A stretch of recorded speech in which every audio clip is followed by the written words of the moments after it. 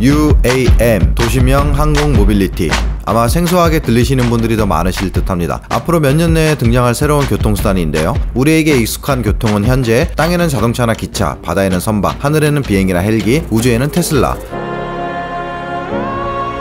이렇게 육해공에서 이동할 수 있는 수단들이 있는데요. 국내에서 2025년쯤에는 하늘로 다니는 새로운 교통수단이 등장할 예정이라고 합니다. 수직 이착륙이 되는 개인 항공기 개념으로 드론처럼 전기모터 프로펠러를 이용해 사람이 타거나 화물을 운반할 수 있는 새로운 개념의 운송수단으로 UAM 이름처럼 근거리 도시명 모빌리티 형태입니다. 보잉, 에어버스와 같은 세계 대형 항공사뿐 아니라 국내 대한항공에서도 UAM 기체 개발을 서두르고 있으며 국내의 현대자동차, 한화시스템과 같은 전통의 제조업에서도 UAM에 천문학적인 개발비를 투자하고 하고 있습니다. 오늘 영상에서 보여드릴 UAM 시연 행사를 보고 나니 지금 업종과 분야를 막론하고 초대형 기업들이 앞다투어 개발을 서두르는 이유가 지금의 자동차 시장을 향후에는 모빌리티 개념으로 대체하는 데 있어 UAM이 가장 큰 역할을 할 수도 있겠다는 생각이 들더군요. 이번 영상은 국토교통부의 한국형 도심항공교통 종합실증 컨퍼런스에 초대되어 촬영한 영상으로 UAM에 진짜 사람이 탑승하여 실제로 비행을 시연한 행사입니다. 사실 UAM 개념 자체도 생소하신 분들이 많으실 텐데 복잡하고 어려운 기술적 자료나 설명보다는 이 UAM이 어떻게 생활을 바꿀 것이며 자동차 시대에서 모빌리티 시대로 어떻게 바뀔 것인지에 대한 개념을 보여주는 데에 중점을 뒀습니다.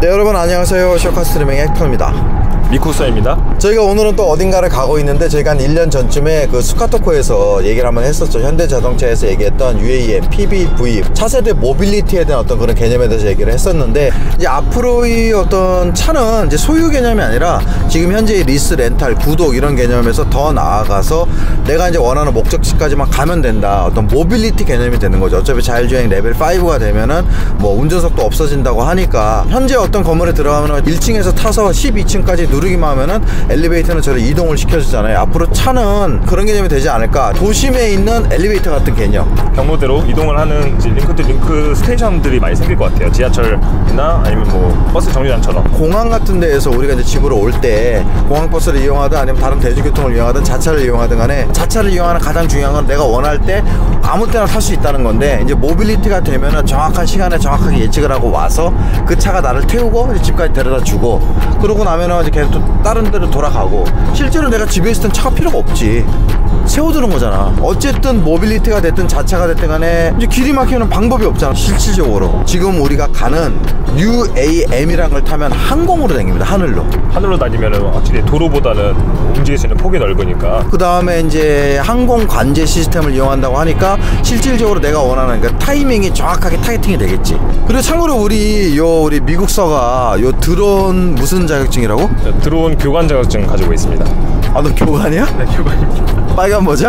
그래서 저는 정말 너무 기대돼요. 이게 사람이 타고 있었던 건 이때까지 없었는데 사람이 타고 나서 난 거를 이제 실제로 목격을 하러 가는 거니까 일단은 이 UAM 어, 여러분들이 실생활에 가장 다가올 수 있는 부분. 집이 분당인데 해외를 갔다 왔어 비행기를 타고. 지금은 제가 이제 분당까지 갈 때 공항버스를 이용하거나 뭐 택시라든지 다른 대중교통 자차를 이용하거나. UAM은 vertiport라는 데에서 한마디로 이제 헬리포트 같은 비슷한 개념인 것 같아요. 거기서 UAM을 탑승을 하고 하늘을 날라서 제 분당에 있는 vertiport 헬리포트 같은 데 착륙을 시켜주는 거죠. 그럼 거기서 분당 안에서 제가 버스를 타든지 아니면 이제 택시를 타든지 제 자차를 타든지 아니면 얘를 불러서 나 좀 데리 러와 하든지 해서 분당 안에서 집까지 편안하게 갈 수 있는.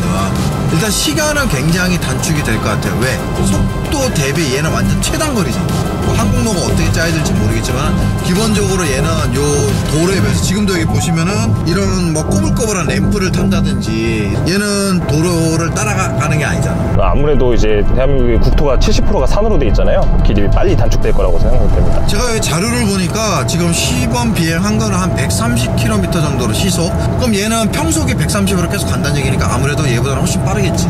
여기다 이제 더 이상 고가로 이런 거 안 지어도 돼어 저번 보령 해저터널처럼 이번에는 미리 알고 가고 있습니다. 제가 탑승을 하는 건 아니라고 해요. 지금 아직까지 정식 운행 허가가 안 나 있기 때문에 일반인을 태우는 단계까지는 아니고요. 시험 기체는 현재 정식 기체의 3분의 1 크기라고 합니다. 3분의 1 크기인데도 날개의 길이가 3.1m래요. 그러면은 실제 정식 기체는 9m잖아. 자 일단 그 기체를 실제로 보기 위해서 여러분들과 함께 한번 가고 UAM 여기 국토교통부에서 표현하기로는 KUAM 괌이네 괌. KUAM 괌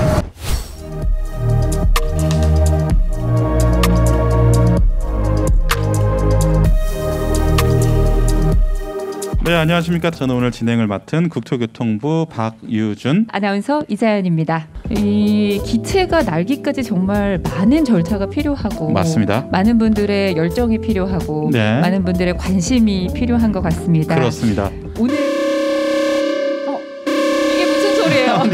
네, 놀라지 마시고요. 네, 무슨 이게 긴급 상황인가요? 어, 드론 공격 통제 UVR이라고 하는데요. 경보를 들은 드론 조종자들은요. 네. 자기가 이륙했던 곳이나 아니면 약속했던 곳으로 어, 네. 드론을 내리게 되는 거거든요. 어, 송도나 영종도 인근에서 음. 어, K 드론 시스템을 통해서 관제를 받고 있던 드론의 움직임이 있었거든요. 네. 유인 기체가 이륙하게 되면 그 드론은 어떤 방해물이 될 수가 있습니다. 그렇죠. 네. 마지막으로 조종자는 어, 최종 last chance라고 해서 네. 모터가 잘 돌아가는지 어. 어, 배터리 잔량은 충분한지 네. 또 조종관은 잘 움직이는지 이런 네. 것들을 보게 됩니다. 여기서 관제 용어 짧게 배우고 가겠습니다. 네. clear for takeoff 빼먹을 수 없겠죠. 하나, 둘, 셋.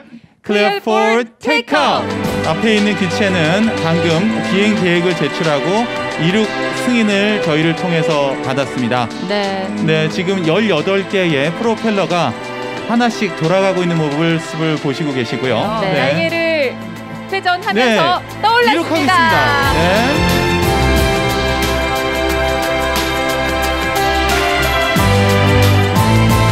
방금 저렇게 180도 틀어서 네. 어, 이륙하는 것도 굉장히 기량이 필요한 조종법입니다. 어, 그렇군요. 네. 자, 이륙과 함께 180도 회전을 하고 하늘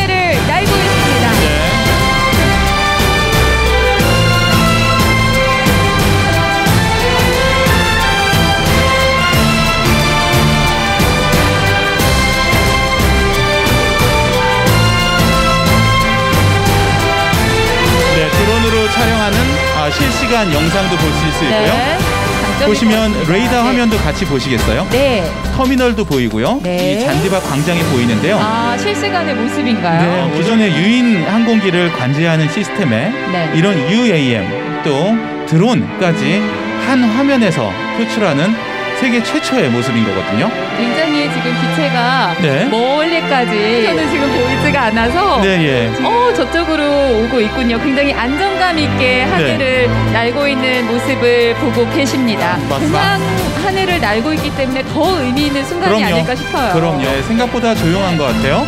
네, 소음이 굉장히 없어요. 만약에 저 위치에 헬리콥터가 있었다고 생각해 네, 보세요. 굉장히 시끄럽겠죠. 그렇죠. 바람도 세고요. 아마 잔디밭이 다 난리가 났었을 거예요. 네. 작은 프로펠러로 여러 힘을 분산해서 아. 어, 활용하기 때문에 네. 네, 하향풍도 좀더 네. 적고요. 네.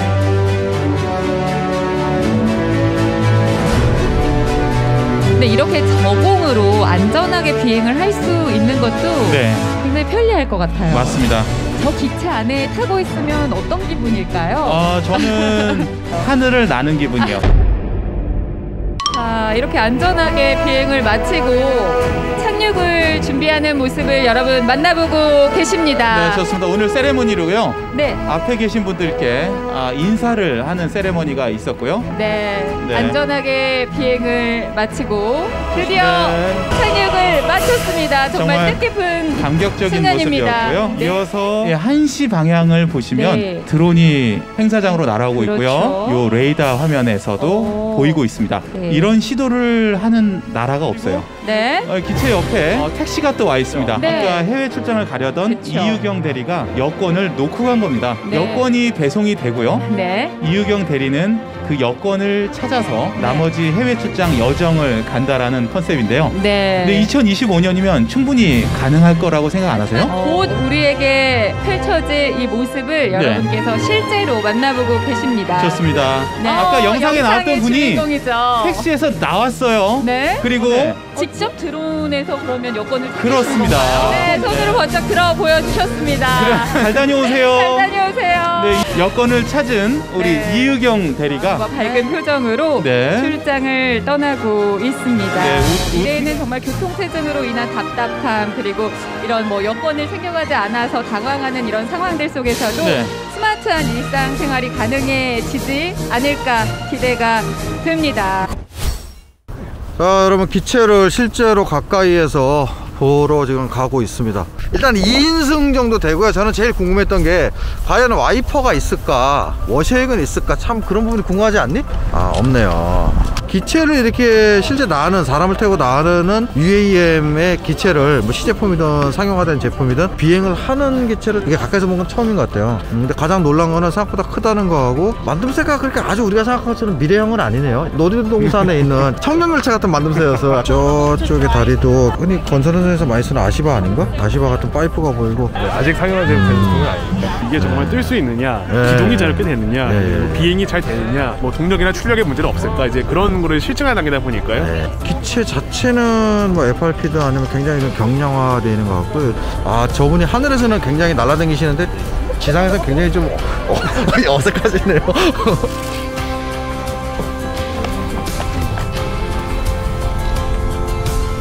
키가 한 190 정도 되시는 분이 타시는데 어, 생각보다 공간이 괜찮고 저 상태로 한 1시간 정도 비행을 하고 오시면은 제가 봤을 때 약간 관절 쪽에 무리가 가지 않으실까 저쪽에 도어있는 저 글씨는 뭐죠 저거는? 무사기야? 뭐 그런 건가? 얘는 멀티콥터 형태고 아까 걔는 틸트형이고 V톨이요. V톨? 네, V톨.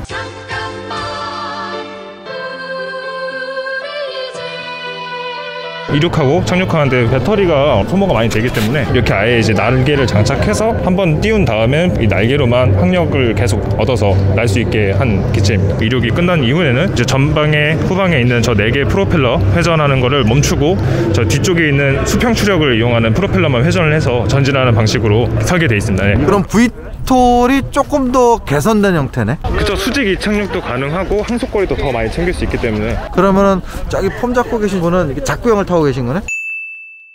무조건 이게 더 상위호환이다라고 볼 수가 없는 게 날개 길이가 있기 때문에 Hello, hi, 안녕하세요. 네, 안녕하세요. 예. Helicopter? Yeah, hi. 아, hi, yeah. Hi, like uh, press release. 아 이분이 이제 그 볼로콥터 이제 그 홍보 매니저님이세요. 예. 아직 뭐 그렇게 궁금한 거는 없습니다 아직 저희도 처음이다 보니까 Thank you for cooperation. 너 해석을 왜 이상하게 하니?